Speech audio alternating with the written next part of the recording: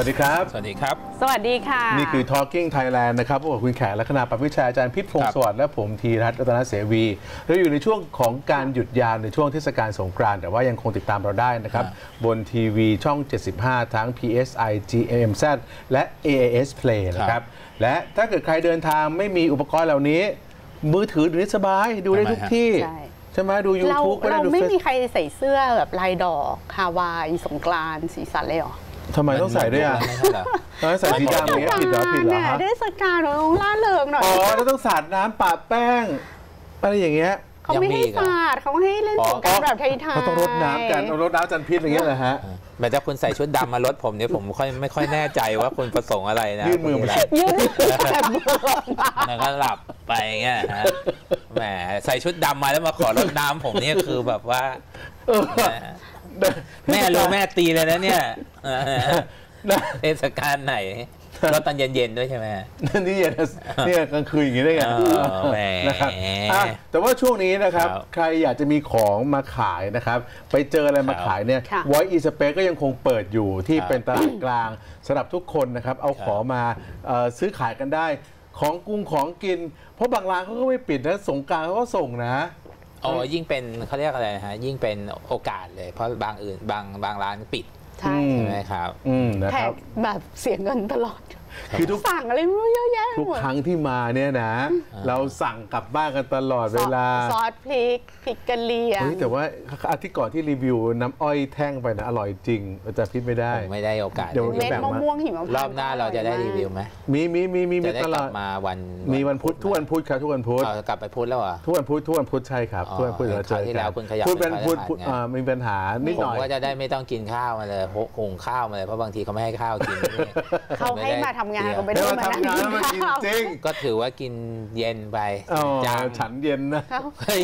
เอาไม่ใช่วันนี้ได้วนๆอยู่กับวัดตลอดเลยเฮ้ย แขกเพิ่งสั่งไอ้นี่มาหมึกกระต่อยอุปกรณ์อร่อยมากเออ มันรสชาติดีมากแล้วอ้อแต่ว่าถ้าเกิดท่านผู้ชมต้องการครับสินค้าดีมีคุณภาพนะครับนี่แหละฮะ Voice Plaza ของเรา ครับ ของต่างๆ ที่เราเลือกมาเนี่ยครับมีมากมายนะครับโดยเฉพาะยิ่งช่วงนี้ใกล้กับวันผู้สูงอายุใช่ไหมฮะอุปกรณ์ที่เราเอามาขายเนี่ยนะเครื่องวัดความดัน เครื่องวัดความเค็มทับพุงทับพีมีขายหมด เทียนหอมก็ขายแล้วกาแฟก็ขายแล้วมีกาแฟเอ่ออะไร Wake นะ Up Blend Wake Up Blend Overview Blend อันนี้ชอบอ๋อเหรอ มี กินแล้วจะพูดเร็วขนาดนั้นกินแล้วตื่นไงอ๋อกินแล้วตื่น เออกินแล้วตื่นค่ะ นะครับลองดูได้ก็ดีใน นะ shop.voicetv.co.th นะครับ ครับ อะ ก็มีของมากมายให้ท่านผู้ชมเลือกกัน เพราะว่าเราเลือกสินค้าดี ครับมีคุณภาพบน Voice Plaza ของเรานะครับ ครับแต่ว่าวันนี้นะครับตลอดวันเอ่อหยุดแบบนี้เราจะชวนคุยกันในเรื่องของการครับ แก้รัฐธรรมนูญนะครับว่ามันไปถึงไหนแล้วก็ค่ะ ในช่วงเบรก2เบรก3ของรายการเราจะเชิญอาจารย์ เข็มทองมาพูดคุยกันนะครับว่าครับถ้าเราจะจินตนาการในการแก้รัฐธรรมนูญเนี่ยครับเราควรจะคิดอะไรกันบ้าง แต่ว่าก่อนอื่นนะครับเราจะขอย้อนรอยค่ะไปดูภาพรวมว่าเอ่อความจริงใจของหน่วยงานต่างๆคขรัอบงองค์กรต่างๆ ของคนที่ประกาศตัวว่าเป็นตัวแทนของประชาชนในการแก้รัฐธรรมนูญนั้นเป็นอย่างไรนะครับที่แน่ๆนะครับพอเริ่มมีการชุมนุมของรัษฎร แล้วก็มีการเคลื่อนไหวบนเอ่อเรียกว่าในมหาวิทยาลัยต่างๆนะครับ จนมาสู่การ ยื่นยติร่างแก้ไขรัฐธรรมนูญต่อคุณชวนเมื่อวันที่ 17 สิงหาคมโดยฝ่ายค้านอ่าฮะนะครับ แล้วก็รัฐบาลเองก็มีการยื่นยติเข้ามาเช่นกันในวันที่ 1 กันยายน 63 แต่ว่าปรากฏว่า 7 เดือนผ่านไปนับตั้งแต่ครั้งนั้นนะครับ การแก้รัฐธรรมนูญก็ถูกคว่ำในการโหวตวาระสามนะครับ ถ้าเราจำกันได้เนี่ยมันมีกรณีที่พอไปถึงจุดหนึ่งปุ๊บเนี่ยคุณไพบูลย์กับคุณสมชายใช่ไหมไม่ใช่สิ สว่างการไปยื่นต่อสารรัฐธรรมนูญจนกระทั่งออกมาครับเป็นเป็นคำวินิจฉัยสี่บรรทัดที่เราทราบกันดีแล้วแล้วต้องให้หมายเหตุอีกนะคะ ว่าไอการที่จะไปยื่นสารรัฐธรรมนูญเนี่ยเขาค้านกันทั้งสภายกเว้นพลังประชารัฐอืมซึ่งจะไปตีขลุ่มว่านักเลือกตั้งไม่จริงใจทั้งหมดเนี่ย ไม่ไม่ได้นะคุณจะไปตีขลุ่มว่านักการเมืองเป็นพวกไม่จริงใจเนี่ยไม่ได้นะเพราะฝ่ายค้านเขาพยายามอย่างเต็มที่ในการที่จะเสนอพรรคภูมิใจไทยอะไรเขาก็ไม่เอาด้วยใช่เรื่องที่จะไปยื่นสารรัฐธรรมนูญน่ะอืมอืมแต่ภูมิใจไทยเขาเล่นหลายเกม เล่นหลายเล่นหลายเกมแต่มีอหลาย่ายงน้อยหน้าเราต้อง endorse เกมที่อยู่ที่มัน empower ฝั่งประชาธิปไตยไง เราก็ต้อง endorse เกมนั้น เราจะมาตีขลุ่มเรียกนักเลือกตั้งหมดอะไม่โอเค เพราะว่าอย่างน้อยอะแขกคิดว่าเกมการแก้ไขรัฐธรรมนูญอะ ถ้าไม่พูดเรื่องอุดมการณ์อย่างน้อยอะฝั่งเราที่อยากแก้ต้อง endorse ว่าทำอะไรแล้วคุ้มแล้วทำอะไรแล้วไม่คุ้มอืมเราต้องชักจูงให้ทุกคนเห็นว่าทำทำอะไรแล้วคุ้มอืมอะแต่อย่างนั้นเราก็เห็นค่ะประชาธิปัตย์ก็เดินหน้าในการโหวตอืมเอ่อแก้รัฐธรรมนูญใช่ก็คือใช่ค่ะเห็นความจริงใจของประชาธิปัตย์ในระดับหนึ่งใช่นะครับแต่ว่าไม่รู้ว่าจากนี้ไปจะแก้ยังไง แก้รายมาตราเข้าทางหรือเปล่าหรือว่า อย่างน้อยฉันก็ได้ทำแล้วค่ะนะครับ แต่ว่าเรื่องของการแก้รัฐธรรมนูญเนี่ยนะครับอื มมันมีความพยายามในการที่จะอภิปรายกันนะครับ โดยเริ่มมีการอภิปรายร่วมกันของสองสภาก็คือเป็นการประชุมร่วมระหว่าง 23 ถึง 24 กันยายน เพื่อที่จะพิจารณายติร่างรัฐธรรมนูญของไทยแก้ไขเพิ่มเติมรวม 6 ฉบับนะครับ ฉบับแรกก็คือเสนอโดยรัฐบาล ก็คือมีการแก้ไขมาตรา 256 เปิดทางตั้งสสร ส่วนอีก 5 ฉบับเสนอโดยฝ่ายค้านค่ะนะครับ ก็การผ่านวาระแรกเนี่ยนะครับ ก็ต้องได้คะแนนเห็นชอบจากสมาชิกรัฐสภาไม่น้อยกว่ากึ่งหนึ่งของสมาชิกก็คือ 369 จาก 737 และต้องได้รับความเห็นชอบจาก 1 ใน 3 ของสวแฮนพิกแฮนพิกบายฮุนตาค่ะอืมนะครับ แต่ปรากฏว่าดูเหมือนว่าเอ่อมันมีการยื้อเวลาใช่ไหมอืมคือที่มันตลกก็คือว่าไอ้โจทย์เนี่ยก็คือการให้นะบตั้งกรรมาธิการ พิจครับเอ่อแก้รัฐธรรมนูญก่อนรับหลักการด้วยคะแนนเสียง 432ต่อ255 มันก็เลยทำให้มีการยืดออกไป จริงๆแล้วมันควรจะเริ่มแล้วตั้งแต่กันยายนครับยื้อยื้อคือผมย้อนกลับไปนิดนึงนะ คือในในบางสังคมเนี่ยการที่จะทำให้การแก้และแก้ไขรัฐธรรมนูญหนึ่งหนึ่งยากสองก็คือมาจากหลายฝ่ายเนี่ยมันเป็นการพยายามให้ความสำคัญกับเรื่องของความ หลากหลายแล้วก็จะต้องมีเอกภาพใช่ไหมครับ ทุกฝ่ายจะต้องเห็นเห็นร่วมกันอืมแต่ในประเทศไทยเนี่ยไอ้โจทย์เนี้ยมันวางอยู่การจากการที่เป็นการสืบทอดอำนาจอืมใช่ไหมฮะคนที่เข้ามาเนี่ยทางพรรครัฐบาลเองทั้งสวสวนี่ก็แทบจะเป็นพรรคส่วนตัวของท่านผู้นำไปแล้วเนี่ยอืมมันยิ่งเห็นนะคือมันเห็นเจตนาตั้งแต่ในรัฐธรรมนูญแล้วว่าสองเจตนานี้มันขัดกันเองอืมมันตีความไปในทางบวกไม่ได้เลยไงอืมใช่ไหมแล้วที่สำคัญแล้วยังมาต่อที่เมื่อกี้เราคุยกันว่า นอกจากอันนี้แล้วยังมีลักษณะการยื้อ ยื้อแล้วยื้ออีก ยื้อแล้วยื้ออีกในเรื่องต่าง ๆ เข้าไปอีกไม่แล้วคือคือการยื้อเนี่ยนะมันมีการในในสภาเลยนะว่า สวก็พยายามที่จะอ้างว่าโอ้นี่ไงไอ้รัฐธรรมนูญ60 เนี่ยนะมันถูกการันตีโดย 16.8 ล้านเสียงประชามติมาแล้วทำไมทรยศต่อเสียงประชาชน เออ แล้วแล้วทำไมไม่ฟังเสียงของคนที่โหวตโนแล้ว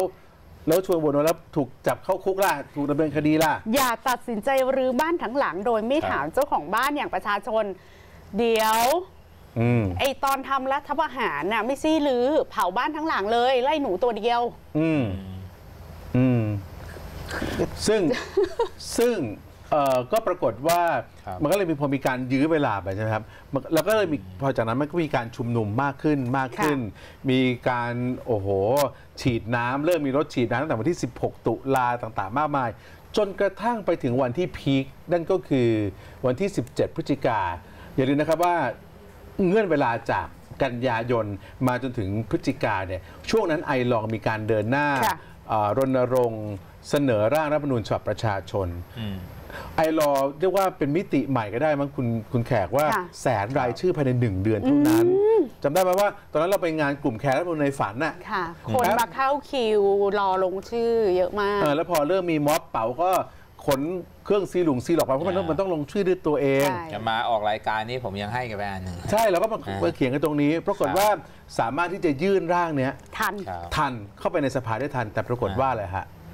ก็ถูกโหวตตกไปดีแหละ อืม ถึงแม้ว่าแสนรายชื่อเข้าไปในสภาได้ มันก็เป็นเกมอีกอันหนึ่งใช่ไหมฮะ เพราะท้ายที่สุดแล้วก็ผ่านวาระแรกเพียงแค่สองร่าง นั่นก็คือร่างของรัฐบาลกับร่างฝ่ายค้านค่ะคนละอันใช่ไหมครับอืมอืมแต่แม้กระนั้นนะคะ แม้กระนั้นก็ไปตกม้าตายอืมเพราะว่าผ่านวาระหนึ่งผ่านวาระสองใช่ไหมคะก็ไปตกม้าตายตอนที่ไพบูลย์นิติตะวันไปยื่นสารรัฐธรรมนูญอืมแล้วก็มีคำวินิจฉัย ให้ผู้คนงุนงงแล้วก็ถกเถียงกันว่าสารรัฐธรรมนูญน่ะหมายถึงอะไรกันแน่อืมคือฝั่งหนึ่งก็บอกว่าสารรัฐธรรมนูญน่ะตัดสินออกมาชัดเจนว่าเออรัฐสภามีอำนาจในการแก้ไขรัฐธรรมนูญ อย่างไรก็ได้ ครับอืม อีกฝั่งหนึ่งก็บอกว่าไม่สารรัฐธรรมนูญบอกว่า อำนาจสถาปนารัฐธรรมนูญเป็นของประชาชน สภาแก้ไม่ได้ ถ้าจะแก้สภาต้องทำ ประชามติ เออต้องทำออกต้องต้องออกกฎหมายประชามติ เออแล้วก็ไปถามประชาชนก่อนอืม ว่าอยากแก้หรือเปล่า อืม ดังนั้นมันก็เหมือนทุกคนน่ะถูกต้อนไปให้อยู่แบบจนตรอกไงอืมเหลือสองทางเลือกก็คือแก้รายมาตรา หรือจัดทำพรบประชามติ แล้วสุดท้ายหวยมันก็ไปออกที่ทุกคนเห็นพ้องต้องกันว่าจะออกพรบประชามติ ซึ่งไอ้กฎหมายพรบประชามติมันจะออกโดยคอรมอถูกไหมคะก็คือครมเสนอมาแล้วก็มาเข้าสภาก็คือมีอยู่ช่วงหนึ่งก็หยิบตอนนั้นเปิดสภาสมัยวิสามันถูกป่ะเมื่อช่วงเดือนมีนาคมอืมแล้วอยู่ดีๆในเย็นวันนั้น ก็มีการบอกว่างั้นโหวตวาระสามกันเลยไหมเออก็โหวตกันเลย ตอนแรกคิดว่าจะลากไปก่อน คือมันมีหลายหลายเสียงที่เสนอเข้ามาไงว่า เออเออเพราะรอว่าไปมันก่อยันงไม่โหวตก็ได้ยังไม่โหวตก็ได้ไงเพราะว่าอย่างน้อย 15 วัน แต่เกิน 15 วันไม่เป็นไรไงเออ หรือว่ามีคุณแม่แต่คุณจุรินทร์บอกว่า ถามสารรัฐธรรมนูญอีกรอบไหมเออเออตอนนั้นมีอย่างนี้ด้วยนะ แต่ปรากฏว่าท้ายสุดแล้วมีการเล่นปิดเกมเกมโดยไพบูลย์ปิเกมโดยไพบูลย์อีกโหวตเลยโหวตเลยโดยพลังประคชารัฐว่ำเลยคว่ ก็ำเดี๋ยววันนี้เราจะชวนอาคิดจารย์เข็มทองคุยในเบรก3 2 และ 3 ของรายการนะครับว่าว่าจะยังไงกันต่อ คุณไพบูลย์นี่ก็ต้องถูกบันทึกไว้ในประวัติศาสตร์จริงอืมนะครับผอืมมคิดว่าฝ่ายรัฐบาลเนี่ยมีขุนพลทางกฎหมายที่เข้มแข็งมากสองคนอืมนะครับก็คือคุณไพบูลย์กับวิษณุนี่แหละอืมใช่ไหมฮะอืมผนึกกำลังกันทั้งภายในสภาและและในแง่ของรัฐบาลด้วยนะเรามาดูเอ่อโค้ดที่เราควรจะต้องจดจำกันไหมคะครับอืมเกี่ยวกับเรื่องนี้นะครัคะบเราเอ่อ BBC ไทยใช้คำว่าละครแก้รัฐธรรมนูญนะครัคะบพลเอกประวิตยวงษ์สุวรรณหัวหน้าพักพลังประชารัฐเนี่ยครับปฏิเสธว่าการโหวตความร่างแก้ไขรัฐธรรมนูญเนี่ยไม่ได้หักหลังพักร่วมครับเพราะแจ้งแล้วว่าปล่อยฟรีโหวตแล้วก็อ้างว่าการแก้ไขรัฐธรรมนูญเป็นจุดยืนของรัฐบาลอืมเป็นจุดยืน แต่มันฟรีโหวตไงเออเราไปครอบงำสั่งให้ใครโหวตรับไม่อ้าวได้แล้วมติพรรคไปไหนแล้วที่ขึ้วะมาเป็นฝักผัวฝักถั่วไปทางไหนนะฮะ นายจุรินทร์ลักษณะวิสิทธิ์หัวหน้าพรรคครับประชาธิปัตย์บอกว่าทำหน้าที่สุดพลังความสามารถและสุดทางแล้ว ต่อไปนี้จะเดินหน้าแก้ไขเอ่อรัฐธรรมนูลรายมาตรานี่นายชาดาค่ะไทยเศษนี่ไงไทยเศษสสอุทัยธานีพักภูมิใจไทยยืนยันว่า ไม่รู้ล่วงหน้าว่าจะมีการเปลี่ยนเกมเสนอกันกลางอากาศ พร้อมระบุว่าเขาเล่นละครอยู่แล้ว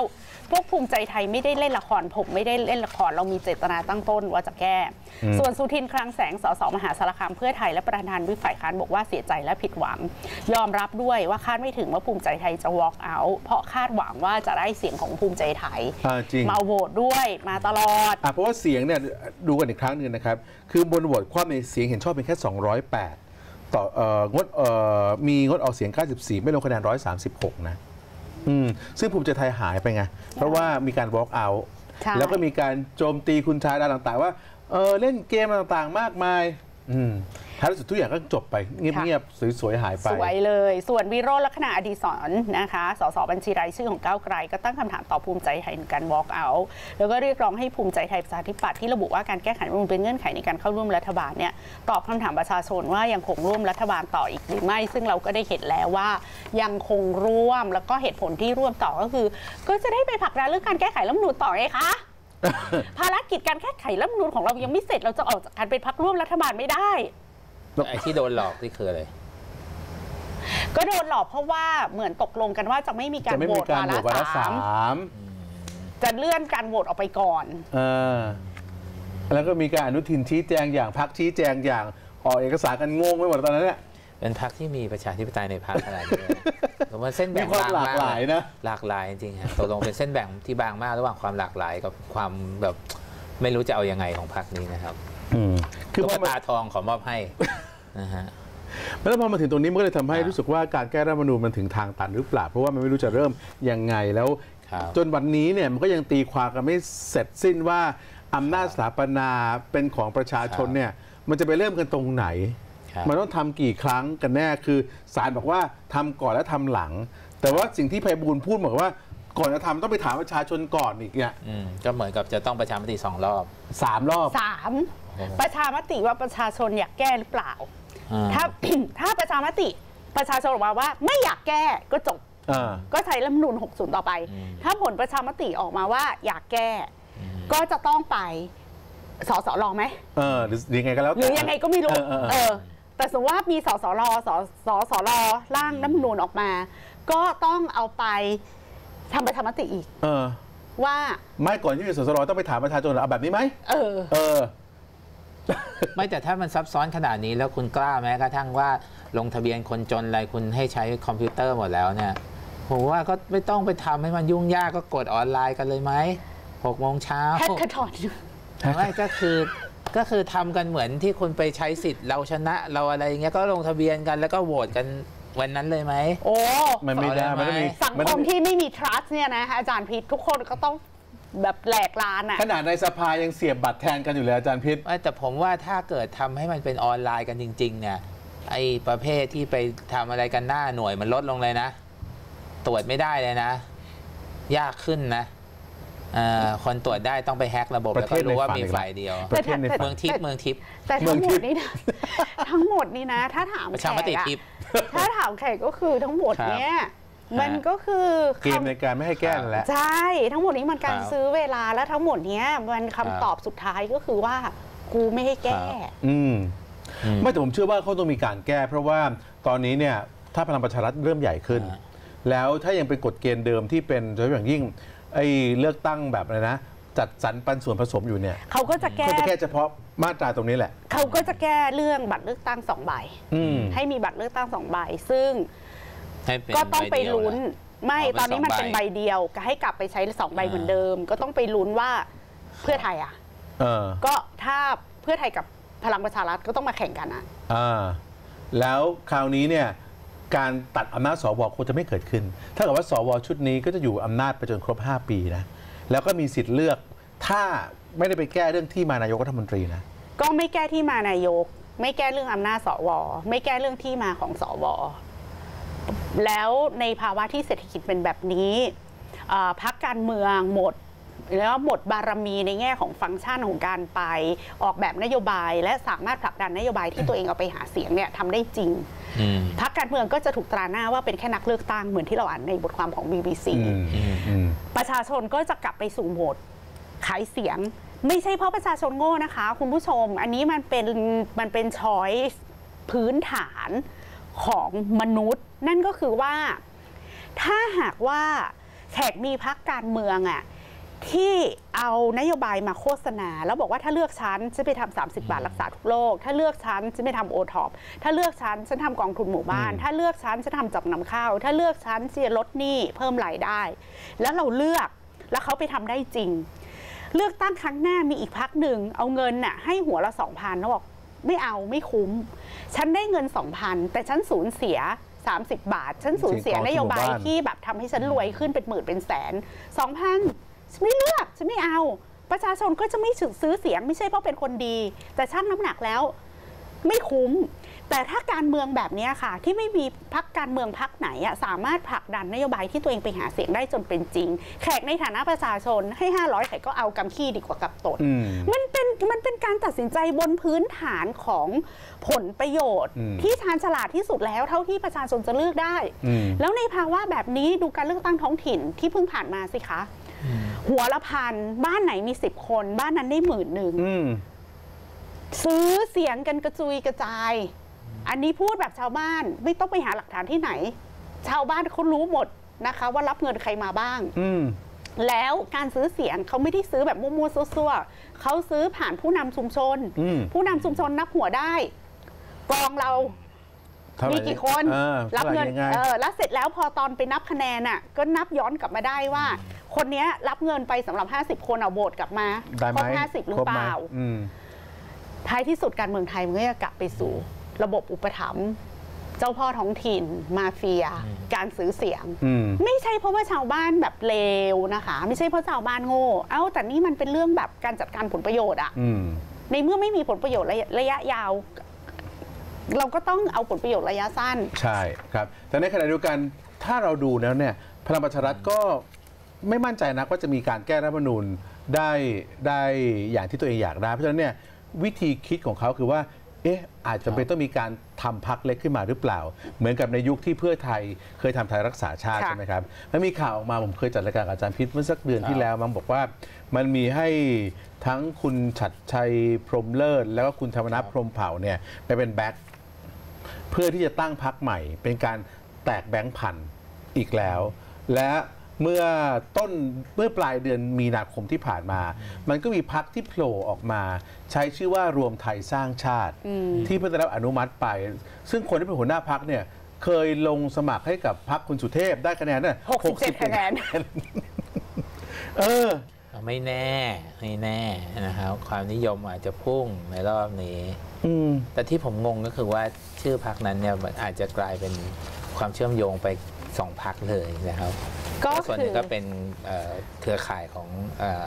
สุเทพ สุเทพกับเครือข่ายของปานุพงศ์ใช่ไหมฮะใช่ป่ะ อันนี้คืออันเดียวกันปะไม่แน่ไม่ อันนั้นคือยังไม่ใช่พักบิ๊กชิงอะไรนี่คืออีกพักหนึ่งเหรอเออ อันนั้นจะมีอีกเหรอมามามาบอกว่าพักบิ๊กชิงที่เป็นคุณชัดชัยพรหมเลิศเนี่ยอ่าน่าจะน่าจะเป็นการผ่องถ่ายอำนาจมาเป็นคุณอนุพงศ์อะอ๋อไม่แต่ชื่อพักอะออกมาแล้วยัง ยังไม่รู้ยังไม่เห็นอ่าในเอช่วองแต่คิดว่าครับรวมไทยสร้างชาติ อาจจะอยู่ภายใต้โซนตรงนี้ อ่าอาจจะเป็นพักเล็กเตรียมตัวไว้ หรือเป็นพักสำรอง คืออันนี้นะนะครับอาจารย์พีทไอ้สองนักคราประชาธิปไตยของอเนกเหล่าธรรมธาตุมันจะกลับมาในแบบที่กลับหัวกลับหาง อืมยังไงก็คือพลังประชารัฐรวมใจไทยสร้างชาติ และอีกพักหนึ่งที่ยังไม่มีชื่อเนี่ย จะไปกวาดเสียงชาวชนบทหมด อืมอืมนึกออกว่าเพราะแต่ว่าเพื่อไทยก้าวไกลจะได้เสียงคนรุ่นใหม่อืม ที่อยู่ในเมืองที่ต้องการประชาธิปไตยอ่าแต่ว่าชาวชนบทไม่ใช่เพราะเขาโง่นะคะ แต่เพราะเขาสูญเสียผลประโยชน์จากพรรคการเมืองที่มากับนโยบายเขาจำเป็นต้อห้างร้อยหนึ่งพันเขาก็เอาอะมาและเขาจะเป็นต้องใช้ระบบอุปถัมภ์อืมเพื่อที่จะมีชีวิตรอดอืมไม่ใช่แค่500พันหนึ่งตอนซื้อเสียงด้วยอืมแต่ทุกอย่างอะมันจะเดินเข้าสู่โหมดอืม ระบบอุปถัมภ์อ๋อถึงมีบัตรคนจนมีเนี่ยและระบบโคอุงปการถัคมนภ์ละครึ่งระบบย่างอุเงี้ยปถัมภ์ผ่านเครือข่ายคนด้วยค่ะอืมตั้งแต่แบบกลุ่มแม่บ้าน อสมอืมเครือข่ายของท้องถิ่นอืมผู้นำชุมชนอืมต่างๆ มันจะเข้ามันจะถูกดึงเข้าสู่เครือข่ายของพรรคการเมืองระดับชาติ ผ่านระบบอุปถัมภ์เพื่อไปต่อยอดการสืบทอดอำนาจอืมที่ไม่ใช่การทำนโยบายที่จะ empower ประชาชนไงพี่เก๋แล้วก็ไปบวกกับเอรัฐราชการที่มันจะใหญ่โตขึ้นเรื่อยๆ และก็อืมการใช้อำนาจรัฐตามอำเภอใจ คือตีอืมความกฎหมายตามอำเภอใจอืมซึ่งชาวชนบทอะก็จะไม่ใช่ว่าไม่มีความรู้เรื่องประชาธิปไตยนะ แต่ชีวิตคนมันต้องรอดไงอืมแต่คราวนี้ไม่ถามว่ารู้แขกเดาอ่า แต่คราวนี้ปมอะไรที่จะทำให้เกิดการยุบสภานี่น่าสนใจเหมือนกันนะว่า ประยุทธ์จะอยู่ลากยาวไปถึงถึงปี 2566 หรือเปล่า หรือว่าจะมีการยุบสภาก่อนตอนนี้ใครว่าไม่ยุบอะเพราะว่าไอ้ยื้อรัฐธรรมนูญสำเร็จเนี่ยไม่มีเหตุผลอะไรที่ต้องยุบสภาเลยไม่มีการการยุบสภาหาคำอธิบายไม่ได้ ใช่ ว่าจะยุบสภาทำไมอืมนะครับอืมคือถ้าจะยุบสภาเนี่ย เร็วที่สุดเนี่ยก็คือปีหน้าเมื่อมีการพิปรายไม่ไว้วางใจ แล้วมีความพลิกผัน เกิดมีการต่อรองหรือว่าพักหรือว่าม็อบรัฐบาลม็อบแรงมากอะไรอย่างม็เงี้อยบตอนนี้เขาไปไหนกันไม่รู้เยอะนะครับอืมตัวแกนนำอะนะคือคนเนี่ยกระแสมันไม่ตก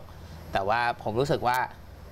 กระแสจะยุเอ่อจะมีการยุบสภาเนี่ยอาจจะเกิดขึ้นได้ก็ถ้าไม่มีอุบัติเหตุทางการเมืองซึ่งนึกไม่ออกนึกไม่ออกคิดไม่อก็อกเหมืจะอนกันต้องมาจากการอภิปรายไม่ไว้วางใจปีหน้า ซึ่งมันทำกันปีละครั้งเนี่ยอืมแล้วพัก รัฐบาลสองพักรู้ว่าถ้ายิ่งอยู่ต่ออีกปีหนึ่งเนี่ยพวกเขาจะยิ่งเสียคะแนนอืมฉะนั้นเขาต้องหาวิธีการในการที่จะ